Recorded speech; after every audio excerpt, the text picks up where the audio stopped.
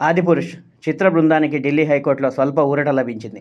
ఆదిపురుష్ సినిమాపై అత్యవసర విచారణ జరపాలని కోరుతూ హిందూ సేన జాతీయ అధ్యక్షుడు విష్ణు గుప్తా దాఖలు చేసిన పిల్ను ధర్మాసనం తిరస్కరించింది.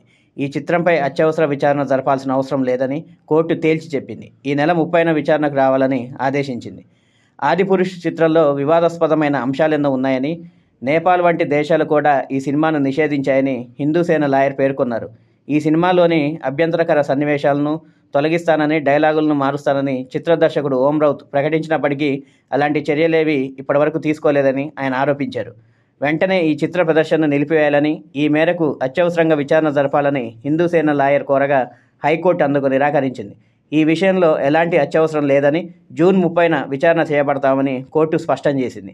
పాన్ ఇండియా స్టార్ ప్రభాస్ హీరోగా నటించిన ఆదిపురుష్ చిత్రం భారీ అంచనాల మధ్య ఈ నెల పదహారున విడుదలై ప్రేక్షకుల నుంచి మిశ్రమ స్పందనను సంపాదించుకుంది. కలెక్షన్ల పరంగా రికార్డులు సృష్టిస్తున్నప్పటికీ అంతకు మించిన నిరసనలు ఎదుర్కొంటుంది. హిందూ సంఘాలతో పాటు పలువురు ప్రముఖులు ఈ సినిమాపై విమర్శలు చేస్తున్నారు. ఈ సినిమాపై నిషేధం విధించాలని పలు సంఘాలు డిమాండ్ చేస్తున్నాయి.